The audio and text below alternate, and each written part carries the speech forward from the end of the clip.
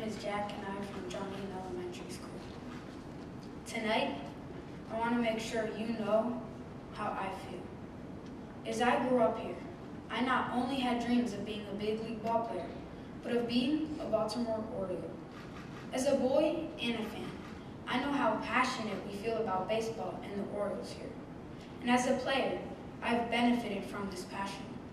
For all of your support over the years, I want to thank you, fans of Baltimore, from the bottom of my heart. This is the greatest place to play. This year has been unbelievable.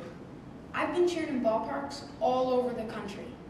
People not only showed me their kindness, but more importantly, they demonstrated their love of the game of baseball. I give my thanks to baseball fans everywhere. Tonight, I stand here, overwhelmed, as my name is linked with the great and courageous Lou Gehrig. I'm truly humbled to have her name spoken in the same breath.